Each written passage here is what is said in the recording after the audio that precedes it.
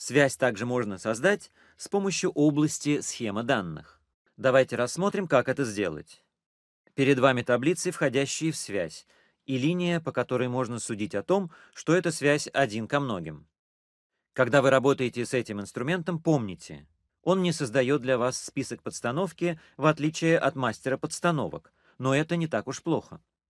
Если вы пользуетесь запросами для извлечения и обработки данных, вам необходима связь, а не список подстановки, так как сам запрос возвращает нужную информацию.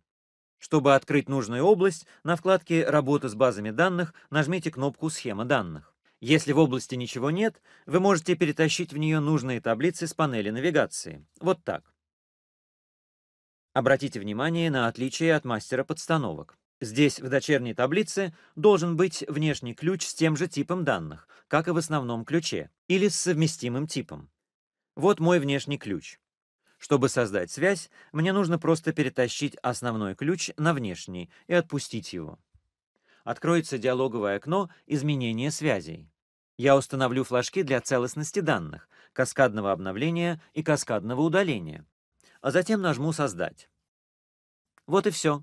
Связь один ко многим создана. Далее мы создадим связь многие ко многим, которая часто встречается в базах данных для отслеживания заказов.